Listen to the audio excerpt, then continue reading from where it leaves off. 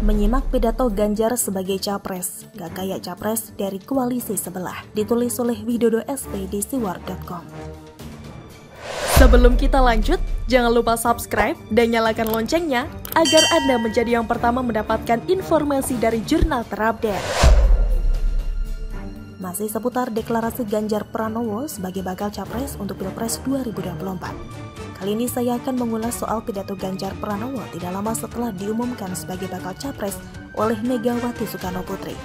Assalamualaikum warahmatullahi wabarakatuh. Selamat siang, salam sejahtera untuk kita semua. Om Swastiastu, Namo Buddhaya Rahayu.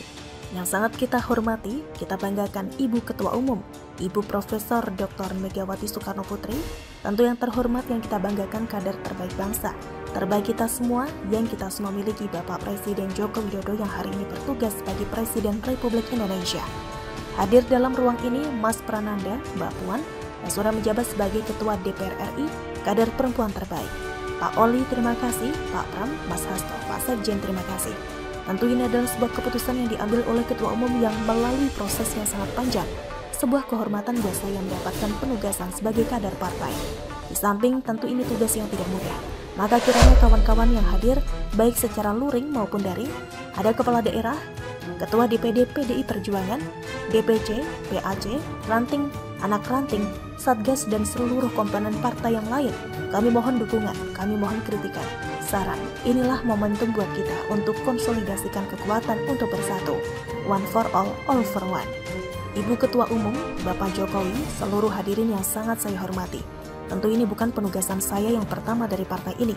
Awalnya sebelum masuk dalam jabatan publik, kami pernah ditugaskan oleh partai untuk membentuk, membidani lahirnya Badiklat Pusat. Setelah itu partai juga memberikan penugasan kepada saya untuk ikut serta dalam melahirkan Badan Penanggulangan Bencana dan Departemen Otonomi Daerah. Setelah itu penugasan berikutnya diberikan kepada saya untuk menjadi anggota DPR RI sampai dua periode. Dan sampai dengan hari ini masih dalam jabatan yang saya emban Ibu Ketua Umum PDI Perjuangan memberikan penugasan kepada saya sebagai Gubernur Jawa Tengah dua periode. Dan hari ini Ibu mengumumkan memberikan amanat kepada saya yang jauh lebih berat. Mudah-mudahan saya mampu berjuang dengan baik soal itu sebagai calon Presiden Republik Indonesia. Ibu Ketua Umum tentu saja proses kaderisasi dengan diklat yang saya terima bukan lahir begitu saja. Saya lahir dari partai ini, digembleng oleh partai ini dan besar di partai ini dengan nilai-nilai kejuangan, dengan semangat, spirit, dan inspirasi dari Bung Karno yang tentu kita sebagai anak-anaknya, anak-anak bangsa selalu menghormati, mengikuti dan selalu menjalankan apa yang menjadi pemikiran beliau sebagai seorang pemikir politik. Bagaimana beliau berbicara dalam taraf global, dalam taraf nasional, bahkan sampai yang kecil sampai tingkat lokal. Yang tadi disampaikan bagaimana kita bersentuhan dengan rakyat secara langsung. Seluruh inspirasi dari segala pemikiran-pemikiran Bung Karno inilah yang kemudian mesti kita wujudkan. Tugas belum tuntas, harus kita tuntaskan oleh anak-anak bangsa.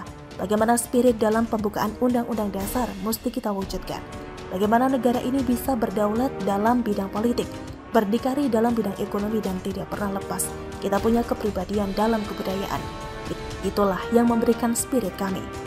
Tentu saya ingin mengucapkan terima kasih terkhusus kepada Mbak Puan yang dalam penugasan-penugasan politik pernah menjadi pasukan tempur, panglima tempur di Jawa Tengah sampai dengan dua periode.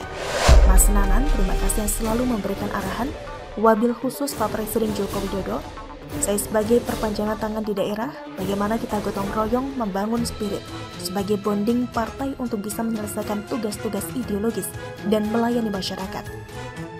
Tentu terobosan-terobosan yang diberikan oleh Pak Jokowi, fundamen yang telah dibangun mesti kita lanjutkan. Hanya kita yang terus berkomitmen untuk terus melanjutkan itu, di mana beliau mendobrak kemapanan-kemapanan, kenyamanan-kenyamanan sehingga Indonesia harus bergerak maju untuk itu. Ibu Mega terima kasih dengan mengucapkan Bismillahirrahmanirrahim. Insya Allah kami akan melaksanakan tugas ini dengan sebaik-baiknya. Dan tentu saja kader-kader lahir dari tokoh perempuan yang sangat hebat di Hari Kartini pada hari ini. Kepada seluruh umat muslim, selamat menjalankan Idul Fitri. Mohon maaf lahir batin, mohon dukungannya. Salam Pancasila Merdeka. Assalamualaikum warahmatullahi wabarakatuh. Mencermati ulang isi pidato Ganjar yang sempat saya dengarkan secara langsung kemarin siang 21 April, saya simpulkan bahwa Ganjar memang kader PDIP tulen yang tidak lupa dari mana dia berasal, juga memahami setiap kemblengan dan proses yang selama ini dilalui sebagai kader partai Banteng Moncong Putih. Penyebutan satu persatu mulai dari Megawati, Jokowi, Puan Maharani hingga Prananda dan Sekjen PDI Perjuangan juga menunjukkan bahwa Ganjar menghormati keberadaan mereka semua sebagai sosok yang berperan penting dalam karir politiknya sampai hari ini. Akhirnya izinkan saya mengutip lagi perkataan Ganjar Pranowo khususnya pada bagian ini. Dan hari ini ibu mengumumkan memberikan amanat kepada saya yang jauh lebih berat. Mudah-mudahan saya mampu berjuang dengan baik soal itu sebagai calon presiden Republik Indonesia. Ucapan yang singkat, padat jelas, tidak seperti saat Gubernur berpidato dengan bertele-tele sesaat setelah dideklarasikan Nasdem beberapa waktu lalu. Kalau isi pidatonya, gak usah saya kutipkan lagi, supaya kita nggak pusing membacanya. Pokoknya ojo dibanding ke. Bagaimana menurut Anda soal pidato Ganjar ini? Adakah hal yang menarik dan perlu dicermati bersama sebagai pidato politik resmi kader PDI Perjuangan itu sebagai capres? Begitulah kura-kura. Bagaimana menurut Anda?